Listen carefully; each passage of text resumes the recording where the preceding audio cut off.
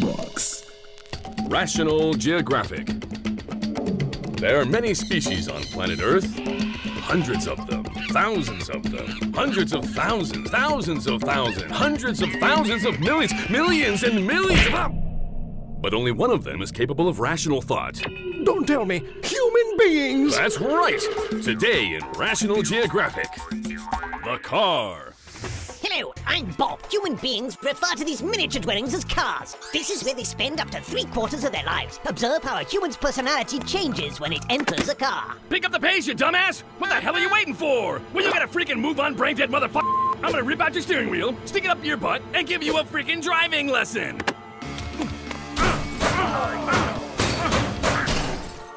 But, but wait. But what am I doing? I just totally flipped out. Please forgive me, Father. There you have it. Once he steps out of the car, the average human reverts to his peaceful, mild-mannered behavior. Notice how the male of the species worships his vehicle. This baby's got mag alloy rims, a V engine, custom metallic bodywork, air conditioning, fully reclinable upholstered seats, four wheels, four doors, a steering wheel. Sometimes it would appear that the male would rather copulate with his car than with a willing female. Why don't you drive me somewhere quiet so we can get freaky in the back seat? Are you crazy? Do you realize what that would do to the leather? Forget it.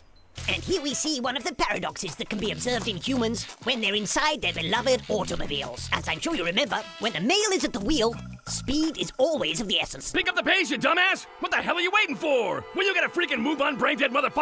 Now, for contrast, let's listen in on the behavior of a female in a comparable situation. No, not so fast! Not so fast! Slow down! Slow down! Jesus, not so.